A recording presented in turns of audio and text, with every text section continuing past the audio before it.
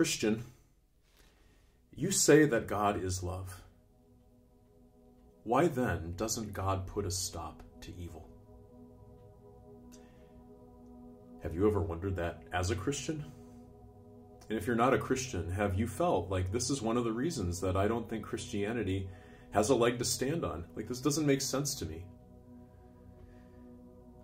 What are the sorts of situations that trigger a question like that, right? I mean, it's if there is a natural disaster, or if there is a fire and somebody dies in the house fire, if there is a, a mother who's looking forward to having a child but the baby is stillborn, someone's a victim of crime, someone is a victim of abuse. Like we see these things that are horrific. And we all can find ourselves asking like where are you God? Or is there a God? Or if there is a God, why aren't you doing anything about it, right? I mean, that is a very natural question that comes into people's minds when we face tragedy. People have questions then about the nature of God, the heart of God, the power of God. And we're going to start off by looking at a couple of just very succinct, short Bible verses that tell us what God is like. And then we'll try to put some pieces together. Let's start off in Psalm 115, verse 3. So, Psalm 115, verse 3. Um, you know that when, if you're doing this electronically, it doesn't matter, but um, if you have a, a, paper Bible, you can find the book of Psalms by basically opening it up halfway, and there, there it is. There is Psalms. Here's what it says Our God is in heaven, he does whatever pleases him. Our God is in heaven, he does whatever pleases him. Now look at Psalm 33, verse 5. Psalm 33, verse 5. That one. The Lord loves righteousness and justice. The earth is full of his unfailing love. Unfailing love does whatever pleases him, like all powerful, all powerful and loving. Those are the two things that get pitted against each other when we face something that is tragic, right? Or evil when unbelievers would try to choose between, let's say, God is powerful and loving, no, I don't think he's loving. Or would they say, God is powerful and loving, no, I don't think he's powerful. In other words, when evil strikes, you think you have to pick one of those, but you can't choose both of them. Either God is powerful but not loving, or he is loving but he's not very strong. Which of the options do you think a non believer would prefer? Where do they go to first? And why? There might be some that think God has to be loving, but then he must not be in control of everything. I wonder, though, if maybe more people are sort of willing to, at least for the sake of argument, grant that God is all powerful. But if he really is all powerful, then he can't be loving, given what we see happening in our world today. Why is it that people feel that way about God? I think they conclude that the divinity has to be supernaturally incredible that seems, if you're going to go with one, maybe the one that has to be true. And if in fact he's not doing anything, then that would make you wonder like that he's not loving. In fact, maybe he even is the source of evil. And that's where that causes a huge dilemma for Christians because they're thinking, wait a second, the God that is revealed to us in the Holy Scriptures, in the Bible, is incredibly loving. So if someone has concluded that God is powerful but not loving, and I, as a Christian, know that God is loving. I confess it every day. What do I say? How can I answer someone who has posed to me the dilemma of evil? Let's look at a few more Bible verses. We're going to start in Genesis chapter 1, verse 31. This is the very beginning of time, right? God saw all that he had made. He had created the world and men and women, man and woman. God saw all that he has made, and it is, it was very good. Very good. Romans chapter 5, verse 12. Romans chapter 5, verse 12. Therefore, just as sin entered the world through one person, and death through sin, and in this way death came to all people because all sinned, when God made the world, it was very good. Paul in Romans says that when sin entered the world through one person, and he's talking about Adam, the first man, the one who was responsible for the spiritual care of his family. When Adam surrendered and gave in and took a bite of the fruit, along with his wife, human beings brought rebellion into the world. God made it perfect. Humans brought the rebellion in. And now turn to Rome to Hebrews chapter 8 verses 7 and 8. Hebrews 8 verses 7 and 8.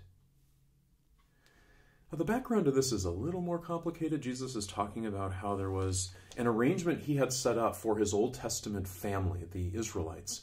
We call that the Old Covenant, and he had expectations for them, and they were supposed to follow his expectations. But the fact was, that didn't work out. And so God has a new covenant now that is being discussed here that is going to show itself in the coming of the Messiah who would pay for all sin. So, an old covenant, that one didn't work out. The new covenant, a covenant of forgiveness through Christ. Listen to this. Verse 7. If there had been nothing wrong with the first covenant, then no place would have been sought for another. But God found fault with the people and said, The time is coming, declares the Lord, when I will make a new covenant with the house of Israel and with the house of Judah. So, if there had been nothing wrong with the first covenant, then there would have been no need for another. But God found fault with the people. So if there's something wrong with the first covenant, a part of you might and me might be thinking, well, the like who wrote the covenant? It must have been flawed in some way. And you'd say, well, God wrote the, the covenant. So if there was something that didn't work out with the first covenant, it must have been the person that wrote it that was at fault. But God in the book of Hebrews says he found fault with the people. The problem wasn't with the perfect design. The problem was that the people did not obey God's perfect design. So here you have a choice. Is God the problem or are people the problem? And God explicitly says people are the problem. Now, you can just say, well, like, here's God, you know, talking about himself. I'm not going to believe that. So we realize somebody can just call God a liar totally here with what's being said in the Bible. But if one hears what's being said in the Bible, the world was created and it was very good. Human beings broke up, exploded this perfect world with their rebellion against God. And we know when there's a theoretical, hmm, who's at fault here, God or people? God is never hesitant to pin the blame directly on people. With that in mind, it would seem impossible to blame God for evil. And yet it happens. The question is what logic is required in order to ultimately pin the blame back on God? Like, what do you have to be thinking to somehow get there when it seems so obvious that God did everything loving and it was the people that messed up? Well, like, one thing you have to start with is just this instinctive no, I'm not going to admit that I'm wrong. It's got to be someone else's fault. Have you ever run into anything like that just on an earthly level? Right? I mean, this is what humans do. Like, it's horrible. But how quickly don't we, even if we know we're guilty, try to find someone else to blame? So, a big part of this isn't whether it makes sense that we're accusing God of evil, it's just the instinct of our wicked, sinful flesh. I mean, what else might lead someone to think, well, it's got to be God's fault? I mean, maybe you could frame it in some way like, uh, in a way like this, where you'd say, well, like, if God hadn't let the devil fall into sin, then, you know, Adam and Eve wouldn't have even had a, had a chance to sin, maybe? And uh, when you hear questions like that, like, if, well, basically saying it's God's fault, like he let it happen, or it's God's fault, he let Adam and Eve sin, it's God's fault. Perhaps it's helpful to think of a question like this. Imagine that you have a man and a woman and they've been faithful to each other for their entire marriage. And someone goes up to the man and says, Were you faith- unfaithful to your wife again? Were you unfaithful to your wife again? Yes or no? Like, what's that man thinking? He's been faithful to his wife his entire life. And the question is, were you unfaithful to your wife again? He's thinking, again, like, what are you implying? No, give me a yes or no. Like, that person cannot answer that question yes or no because the question has embedded in it a presumption that's false. It's not true that he was ever unfaithful to his wife before. When you are stuck with a question that has in it an assumption that is not true, what do you do? Well, what is the assumption that is not true? When we ask, why didn't God keep the devil from sinning, or why didn't God keep Adam and Eve from sinning, turn to James chapter 1, verses 13 to 18. James chapter 1, verses 13 to 18. Here's how it goes When tempted, no one should say, God is tempting me, for God cannot be tempted by evil, nor does he tempt anyone, but each one is tempted when, by his own evil desire, he is dragged away and enticed. Then, after desire has conceived, it gives birth to sin, and sin, when it is full grown, gives birth to death. Don't be deceived, my dear brothers. Every good and perfect gift is, is from above, coming down from the Father of the heavenly lights, who does not change like shifting shadows. He chose to give us birth through the word of truth, that we might be a kind of firstfruits of all he created. James 1 13 to 18. You might remember, just as you were listening, what does it say God doesn't do? It says he doesn't tempt anyone.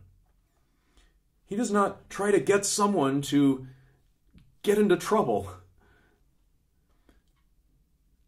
People are tempted to sin by their own sinful desires. So, what we know God doesn't do is He has no intention to introduce evil into a perfect situation. If there's a, a, fault, a finger to be pointed, it's at the human being who falls into sin. What is true about God? It says every good and perfect gift comes from above. That whatever is true about God, it's always, or whatever God does, maybe we should say, it's always good and it's always perfect. God is never, never the source of evil.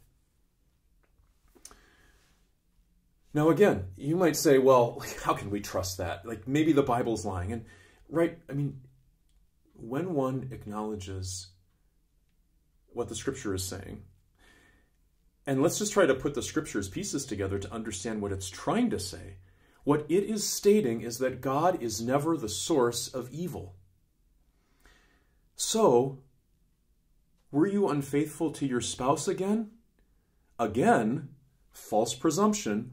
What is the false presumption when we say, well, like, why didn't God stop the devil from sinning? Or, why didn't God keep Adam and Eve from falling into sin? Or something like that, right? We have in that question the presumption that it's possible that God could be responsible for evil. We're envisioning that as a possibility when we're asking the why. We have put into a question something that is impossible. It's false. God cannot be the source of evil. Well, yes or no? You see how you can't answer a question that is wrongly framed? But there's more the role that God does play in evil, right? Like, he's there. What's he doing when there's evil? If, if I'm not going to say he's the cause in a guilty sort of way of evil, then Romans chapter 9, verses 22 to 24 takes us another, another step. Romans, 20, Romans 9, 22 to 24. Now, Romans 9 has got some complexity to it, and it's important to know, first off, just one of the parts of the preceding context is an account of Pharaoh. So, Pharaoh was an evil man, he was persecuting the Jews, and in the end, Pharaoh is put on the losing side as God opens up the waters of the Red Sea and the Israelites escape, right? But the question is this with Pharaoh, why did he continue to exist? Well, in the end, by Pharaoh's continued existence, and he's fighting against God, but then God brings miraculous rescue, the good name of God got spread far and wide. Do you remember Rahab? She was the prostitute in the city of Jericho that helped out Israel's two spies. The exodus from Egypt had happened 40 years before that, and she knew about the parting of the Red Sea. The name of God had been glorified because Pharaoh had opposed, and God ultimately overcame. So, with that in mind, what if God, verse 22, choosing to show his wrath and make his power known, so he was intending to bring just, justice and judgment on Pharaoh and his army, but choosing to show his wrath and make his power known, what if God bore with great patience the objects of his wrath, like a Pharaoh, who was fit for destruction? thoroughly made ready for destruction. He deserved punishment. What if God bore with great patience someone like that in order to make the riches of his glory known to the objects of his mercy, whom he prepared in advance for glory? What if God had a purpose in being patient with the Pharaoh situation because he ultimately was going to bring even greater glory to his name? The role of God and evil. One more thing. Romans 11, 32 and 33. So you can just flip your pages ahead or scroll just a little bit further. Having looked at this and having identified the role of God in highlighting for people the fact that they have fallen short of God's expectations, people have broken God's law. Verse 32 For God has bound all men over to disobedience he has made it evident to all that they are completely lost based on their own actions, bound all men over to, to disobedience, so that he might have mercy on them all. That God's intent in highlighting sinfulness is ultimately that they might see their sin and they might see in mind blowing fashion the undeserved mercy of God in Christ who came to forgive sin. And it's at that moment that Paul says, Oh, the depth of the riches of the wisdom and knowledge of God. How unsearchable his judgments and his paths beyond tracing out. Sometimes we get confused by, well, but how then can there be evil? Do you see what God says is really confusing? If you really want your head to explode, try to explain why God, in the face of rejection and rebellion, chose to tell Adam and Eve that he was going to send a Savior into the world who was going to crush Satan's head and bring forgiveness for their sin. Like that makes no sense. Why would God show love? Is it to some degree a mystery? The presence of evil? Do our minds struggle to wrap our heads around that? Like, it's okay to say there are things that you can't connect the dot dots on perfectly according to your human reason. Like, it's okay to be an ant, an ant, the little animal ant, and to observe humans walking by. How would an ant have a conversation about what constitutes human speech? Like, what are they doing right now? Right? We don't even imagine an ant being able to have thoughts like that. The fact is that the gap between us and ants is so small compared to the gap between God and us. And yet sometimes we feel like we are capable of comprehending or thinking through or right God's ways. And and if we're willing to say, yeah, like I struggle sometimes with with evil and my head wants to blame God. I want to think in some way that it's His fault. And I hear the Bible and it tells me that is not true. Like, that's the one answer that for sure is wrong.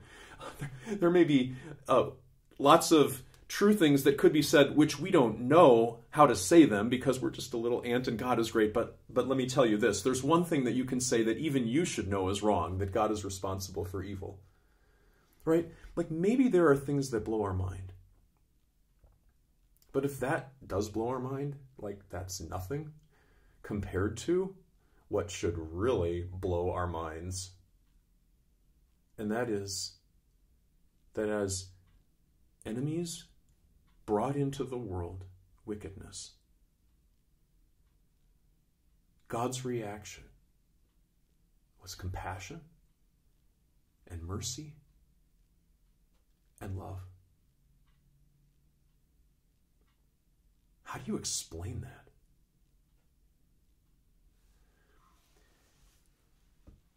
What's beautiful is that God is not unaware of evil. The fact is that he powerfully works in the face of evil.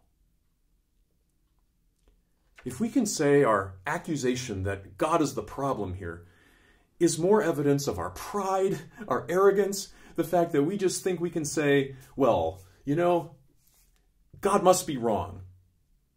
And, and you know how how wrong that is. Um, like even in our own society, there have been discussions about if a if a teenager commits a crime, are the parents responsible? And there are times where judges and juries and they all might look at the situation and say, well, this is a, this is a case where plainly there was a contribution to the act of this teenager by the parent, right? We will pray that judges and juries make authentic, loving, proper just decisions in that regard. But what if someone were to say to you, anytime a teenager does something wrong, it's the parent's fault? Like, you know, there are times when the parents have done everything they can and the they're not responsible.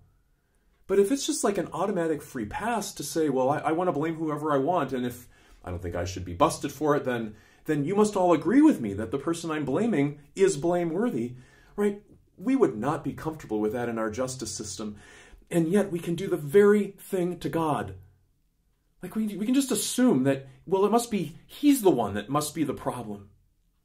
Right? When, when we hear the scriptures so clearly telling us that, well, whatever the answer is, that's one that's for sure wrong. And now you're wondering, okay, like help me. Help me understand how a powerful God interacts with evil. There are three big words that, that you can remember.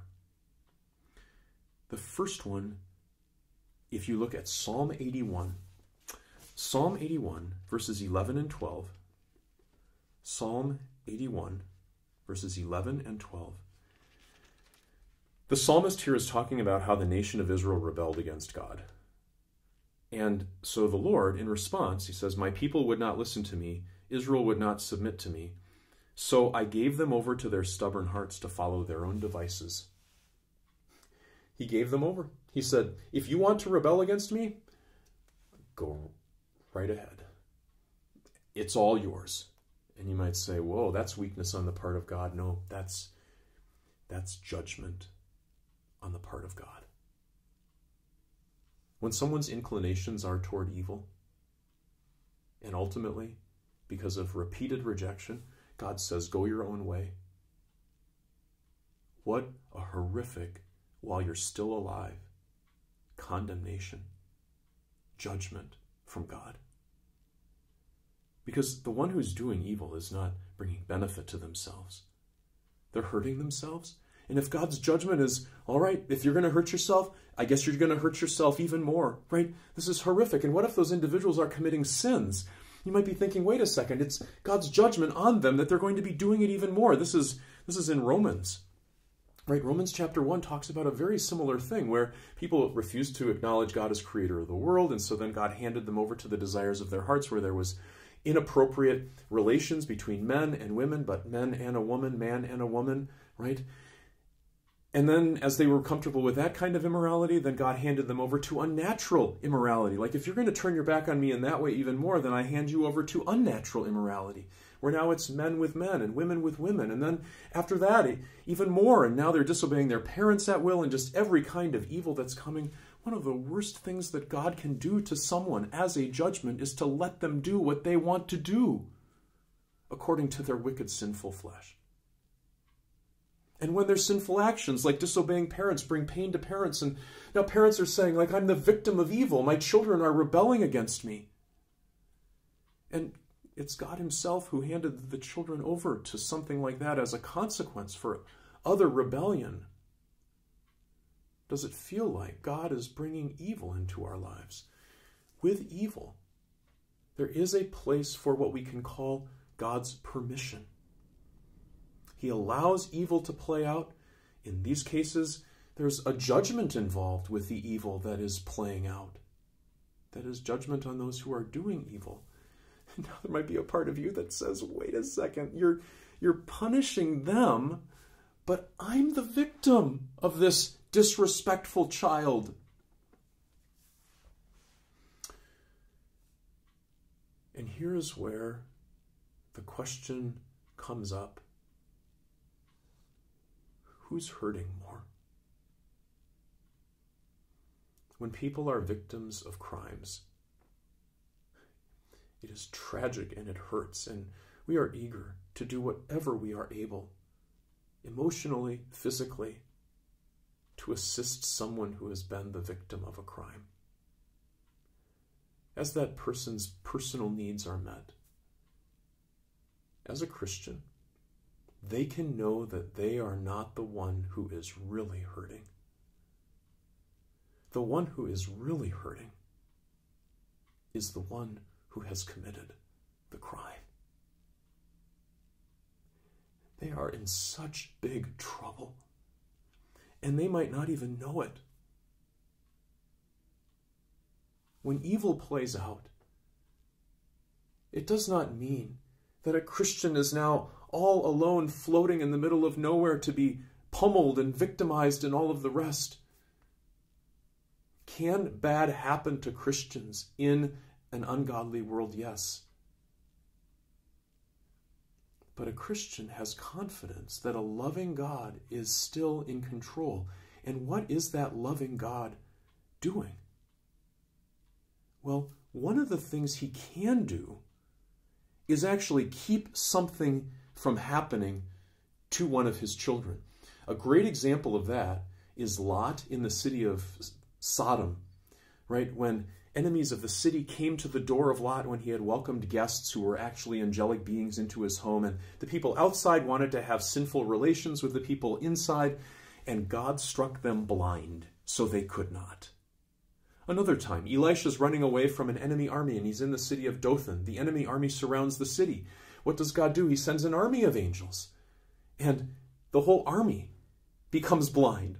So that Elisha goes out to the army and says, looks to me like you're a little lost. And then they follow him. He leads them into the capital city of the Israelites, where the king of the Israelites sees all of these enemies inside his city and realizes he can slaughter them. He asks, like, for permission, basically, and Elisha tells him, No, throw him a party. Like, seriously, throw him a party. And so he did. And all of these enemies, they went back home and they did not attack Israel again. Like, God has, had his own way. But what was he doing? Protecting by preventing evil from happening. So sometimes God actually steps in and makes sure that something can't happen.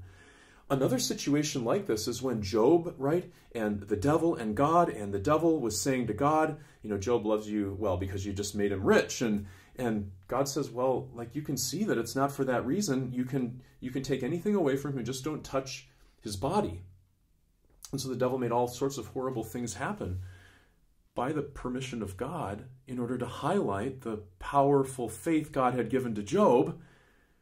But God said, you can only go this far. And then it was, and then the next time you can touch his body but not kill him, right? God was there making sure that the line didn't get crossed. But you might be saying, okay, that's really nice when God prevents evil from happening, but I'm not one of those people. I'm one of those people who has experienced evil.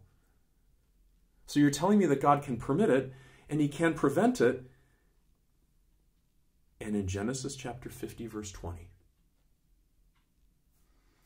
if there was ever someone who could say, why isn't God doing anything? it was Joseph. Brothers had sold him into slavery, then gets accused in his master's house of being inappropriate with the wife of the master. He didn't do anything. She lied about it. He gets thrown into prison. I mean, can you see Joseph in prison saying, like, what's the deal? I'm I've been a follower of the Lord, and what in the world is happening to me, right? But Genesis 50 20 has the brothers who had sold him into slavery scared to death. You're wondering how in the world could they have become scared to death? Well, God ultimately made Joseph second in command of all Egypt, and the brothers are now in front of him, and they are scared because now they know that he knows what they have done and they are certain that they are going to face their end in some horrible way. Do you know what Joseph says to them? I know, like, God lost control here. There was a ton of evil. You guys are going to pay now. Now I can squeeze out of you all the justice that God refused to give. Like, are there times when you feel that way? You just so want God's justice to pour down on somebody who has hurt you. And you have wondered, where is my good and gracious God? How can you be both powerful and loving when something like this has happened? Joseph could have said. Do you know what he said? To his brothers, you intended to harm me But God intended this for good, for the saving of many lives, as Joseph had collected food for the starving. My friends, God has given to you a Christian, a child of the Heavenly Father, the absolute promise that He will work everything out for your good, even if it involves you experiencing evil. I know that can feel mind blowing. I know that can seem impossible. You have God's word on it. Even if it takes multiple years for Joseph finally to see how this plays out. For some of us, maybe it won't be until we're in heaven. And who knows what exactly we'll get as far as detail. We'll just be so thrilled by that point. God as powerful God, in the face of evil, can permit it, and in fact, even sometimes use it to further the judgment of someone. He can prevent it, and he directs it ultimately for the good of those who love him, his children. Your God is not weak. And yet sometimes there is in your heart that longing for justice. Dear Lord, please bring justice. Particularly when the evil that you're experiencing has been inflicted on you by someone else, right? I mean, there are different kinds of evil we face. There are tornadoes and hurricanes and unexpected health issues, and like where we would not be positioned by God to say, oh, this is God punishing you for a particular sin, right? We realize that so much of what happens is just a part of being in this sinful world. And though we know God can bring consequences for particular sins, as a Christian, we know that God punished Jesus for all of my sins. So, like, I don't want to think that for a whole ton of ton of reasons. But sometimes, sometimes the tragedies we face can feel like inanimate, like they're outside things that affect us. And sometimes the evil that we face can be because a person has directly sinned against us. And we might so long for all of that to go away for the evil that's just a part of being in the sinful world, for the evil that comes to us because of evil people. Mark chapter 9, verse 48. Mark chapter 9, verse 48. This is talking about the consequence of rebellion against God, a, a, picture of hell, and here's how it's described. This is a place where their worm does not die and the fire is not quenched. There is justice for evil. Right? That's what concerns us when we think, like, where is my loving God? We've seen how our loving God can work miraculously, even in the face of evil happening. But please know this there will be justice. There will be justice fire never going out, worm not dying. That may be a new image to you. It's also in the book of Isaiah. but the idea of a worm that is a decomposing body, right? And it never runs out of food, that worm. Whatever hell is, it is perpetual, it is horrific, and it never stops. There will be justice. And now the only question that might come into your mind is, but I want it more quickly. It's so hard to wait. I know you're asking me to trust, but I'm hurting now. 2 Peter chapter 3, starting in verse 7. 2 Peter 3, verses 7 to 9.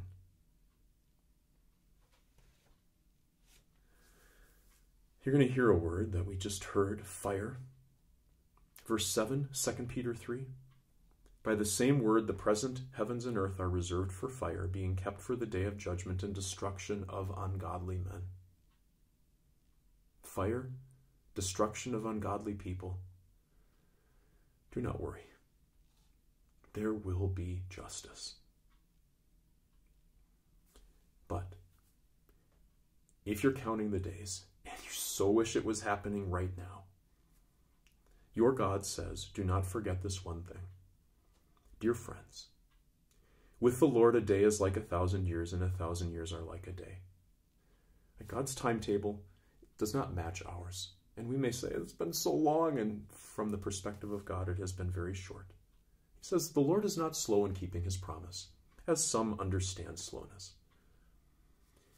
Instead, he is patient with you, not wanting anyone to perish, but everyone to come to repentance.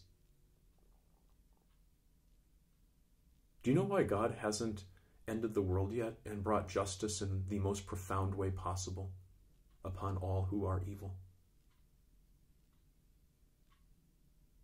He doesn't want people to go to hell. He is patient. There are more people to be saved. If you had a choice between having it all end right now and more people ending up in hell. Or God gives it more time so that there are more who are brought to repentance and see in Jesus their Savior and end up in heaven. People who would have been in hell but now are in heaven because of the powerful gospel that you can share with them. Here is the question Are you willing to live in a world where there will be evil so that someone else can be in heaven.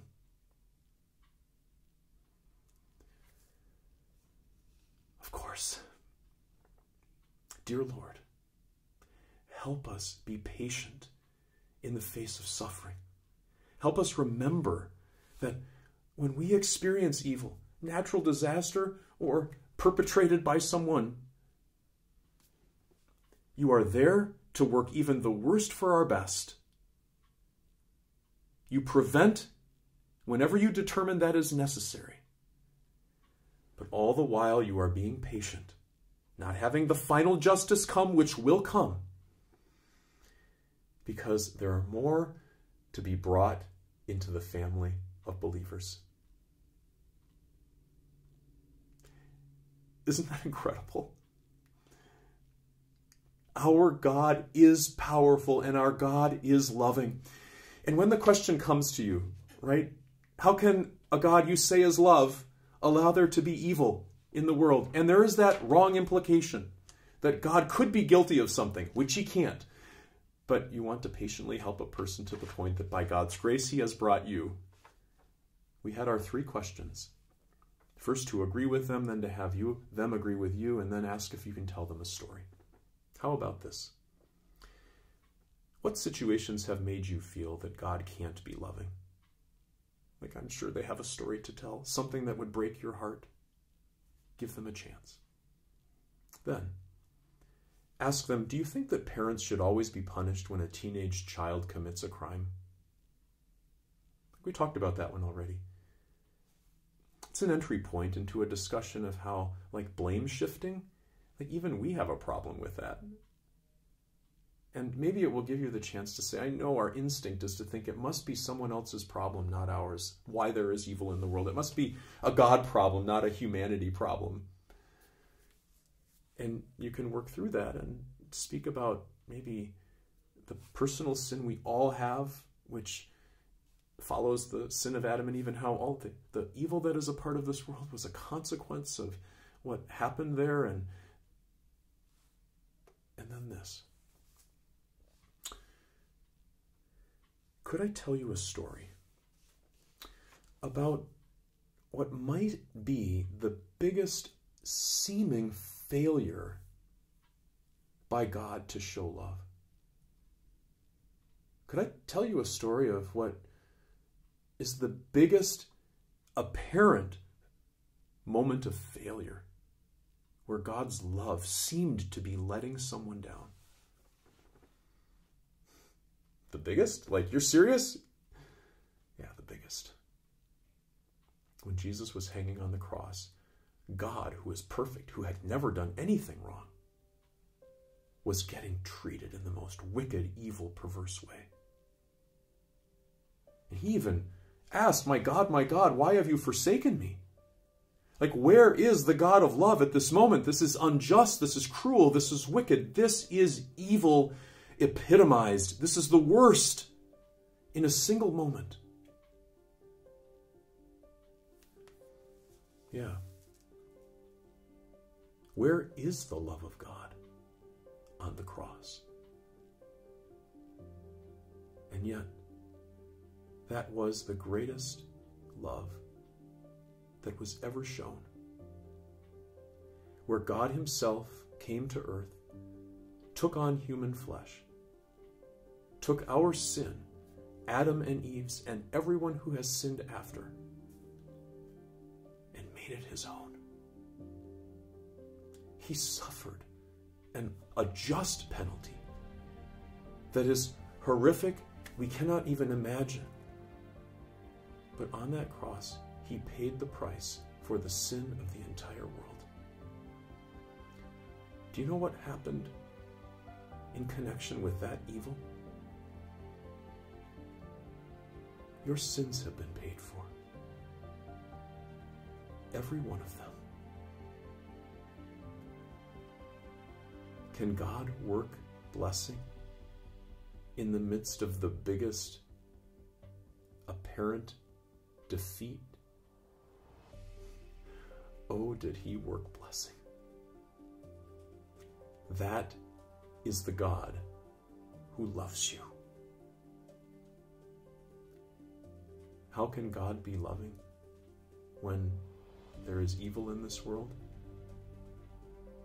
Yes, there are many things that simply go beyond our capacity to connect the dots. But this is what I know. This is what you know. This is what God assures us we can be confident of. God loves you. He shows it in so many ways in the face of evil and in the greatest act of evil ever. God, so powerful, showed the greatest act of love ever. Let's pray. Dear Heavenly Father, we ask that you would work in us trust. You do love us. Please graciously work all things for our good, helping us through this earthly life, which is full of trouble and sorrow, helping us be patient that more would be saved, giving us confidence that one day justice will come, that more blessed, that we might be saved. Justice applied to Jesus, so that justice need not be applied to me. Thank you, Lord. In Jesus' name we pray. Amen.